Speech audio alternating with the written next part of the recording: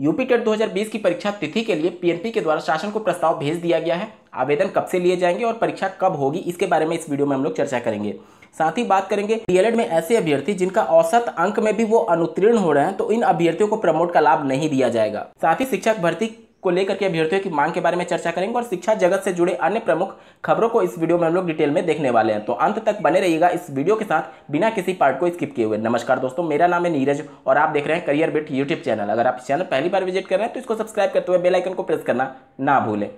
सबसे पहले बात करेंगे यूपी टेट 2020 के लिए आवेदन के क्रम में पीएनपी के द्वारा जो शासन को प्रस्ताव भेजा गया है, उसमें आवेदन 15 जून 2021 से प्रारंभ करने के लिए सिफारिश की गई है। स्क्रीन पर आप इसके संबंध में आर्टिकल देख पा रहे होंगे। यूपी टेट के लिए 15 से आवेदन लेने की तैयारी।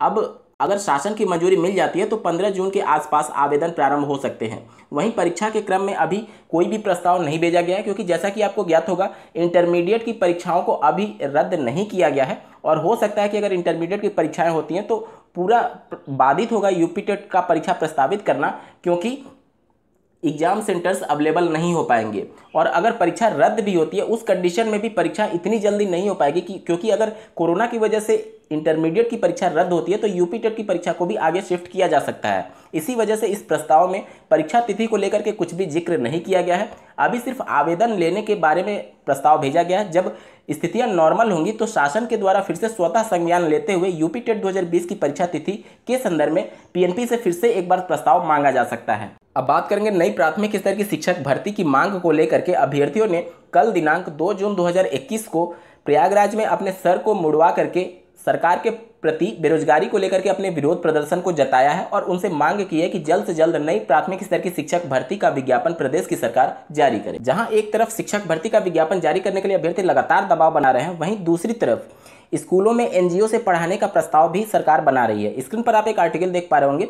कन्वीजीनियस संस्था के लिए शासन को प्रस्ताव भेजा गया है।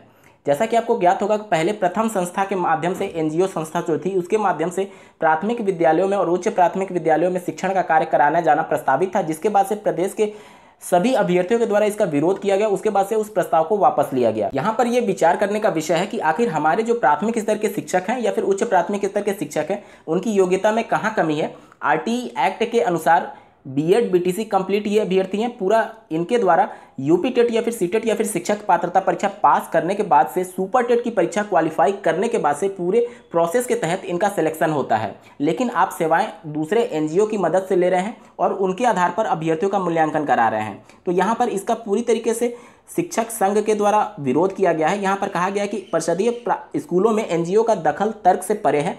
कई चरणों के बाद स्कूलों में योग्य शिक्षकों की नियुक्ति होती है। हम ऐसे अनाधिकृत संस्था व लोगों का विरोध करते हैं, क्योंकि एनजीओ संस्था के माध्यम से कौन अभ्यर्थी बीएड है या फिर कौन बीटीसी नहीं है, या फिर उन्हें सीटेट यूपीटेट पास किया है या नहीं, या फिर किस आधार पर वो अभ्यर्थियों का मूल्यांकन कर रहे हैं आरटीई एक्ट भी इसका विरोध करती है।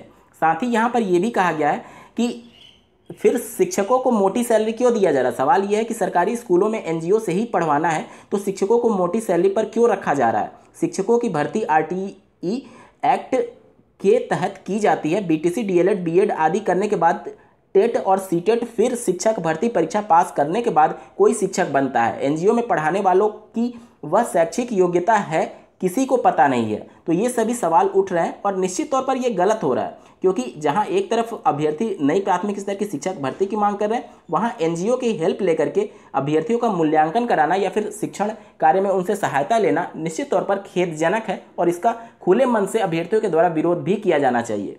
डीएलएड 2019 बैच में जिनकी सेकेंड सेमेस्टर में एक या फिर दो सब्जेक्ट में बैक लगी होगी, उनको प्रथम सेमेस्टर में प्रमोट का लाभ नहीं दिया जा सकता था पिछली रिपोर्ट के अनुसार। लेकिन पीएनपी ने नरमी दिखाते हुए इन अभ्यर्थियों को भी प्रमोट के फॉर्मूले तैयार करने के संदर्भ में पीएनपी ने शासन को और सीआरटी को एक प्रस्ताव भेजा कि किस आधार पर इन अभ्यर्थियों को भी प्रमोट का लाभ दिया जा सकता है। अब वो प्रस्ताव लगभग तैयार हो चुका है और अब मंजूरी मिलने की भी बहुत ज़्यादा संभावना है, क्योंकि एससीआरटी ने इस पर सहमति जताई है। अभी हालाँकि ऑफिशियल नोटिफिकेशन जारी नहीं हुआ है, लेकिन बहुत ज़्यादा चांसेस हैं कि इसी पर मोहर लग सकती है अभ्यर्थियों को प्रमोट का लाभ देने के संदर्भ में। अब देखिए, स्क्रीन पर जो आर्टिकल आप देख पा रहे होंगे, इसको लेकर के बहुत ज़्यादा अभ्यर्थियों में कन्फ्यूज़न बना हुआ है कि औसत अंक क्या होता है। तो औसत अंक में अगर आप अनुत्तीर्ण होते हैं तो फिर आपको प्रथम सेमेस्टर में प्रमोट नहीं किया जाएगा।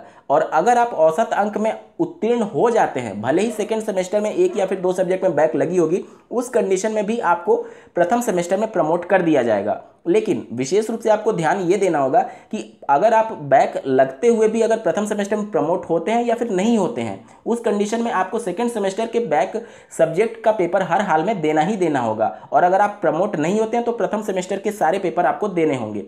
ठीक है?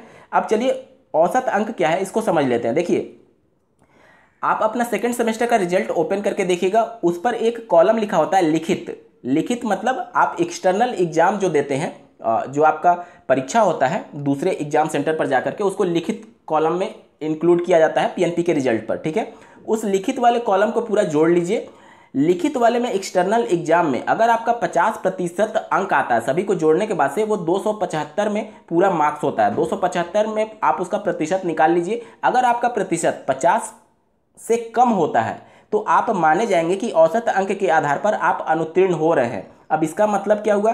देखिए, जैसा कि आपको ज्ञात होगा कि डीएलएड में 50 प्रतिशत पासिंग मार्क्स रखा गया है।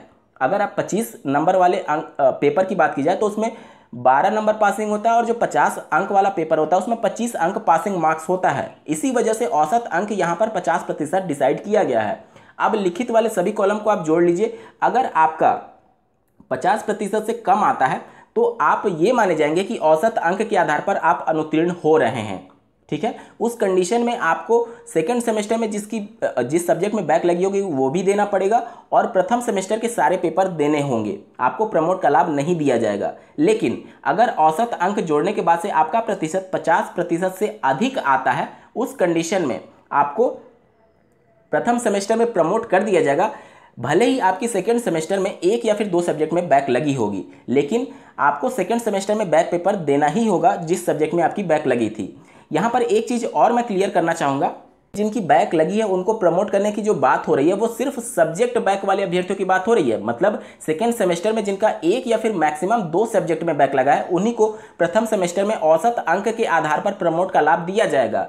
अगर आपका सेमेस्टर बैक हुआ है मतलब कि तीन या फिर तीन से ज़्यादा सब्जेक्ट्स में बैक लगी है, उस कंडीशन में अगर आपका औसत अंक के आधार पर आप उत्तीर्ण भी होते हैं, तब भी आपको प्रमोट नहीं किया जाएगा। क्योंकि सेमेस्टर बैक की रूल ये कहती है एनसीटी की गाइडलाइंस के अनुसार, कि आपको जिस सेमेस्टर में आपका बैक लगा है, उस सेमेस्टर के सारे पेपर्स आपको फिर से क्लियर करने होंगे। मतलब सेकेंड सेमेस्टर में अगर आपका तीन या फिर तीन से ज़्यादा सब्जेक्ट्स में बैक लगा है तो सेकेंड सेमेस्टर तो आपको फिर से प्रशिक्षण लेना ही होगा हर हाल में, और उसके सारे पेपर को क्लियर करने होंगे, और उस कंडीशन में आपको प्रथम सेमेस्टर के भी सारे पेपर क्लियर करने होंगे, उसके बाद ही आप तृतीय सेमेस्टर में इनरोल्ड माने जाएँगे। यहाँ पर जो भी बातें औसत अंक के आधार पर उत्तीर्ण करने की बात की जा रही है या फिर प्रमोट करने की बात की जा रही है, ये सिर्फ़ प्रथम सेमेस्टर के रिज़ल्ट का ही मामला है। इससे तृतीय सेमेस्टर डीएलएड 2019 बैच का कोई भी लेना देना नहीं है। ये सिर्फ़ मामले प्रथम सेमेस्टर के रिज़ल्ट को जारी करने के लिए मोहर लगने जा रही है अब पूरे प्रस्ताव पर। इसके बारे में इस आर्टिकल में चर्चा की गई। वहीं परीक्षा रद्द होने के बाद से बारहवीं के अभ्यर्थियों को किस प्रकार से प्रमोट किया जाए, उनको अंक किस आधार पर दिया जाए, इसके संदर्भ में आप स्क्रीन पर आर्टिकल देख पा रहे होंगे कि सीबीएसई तैयारी कर रहा है और जल्द ही इसके संदर्भ में फॉर्मूला तैयार करके जुलाई में इनके रिज़ल्ट की घोषणा करने की कोशिश की जाएगी।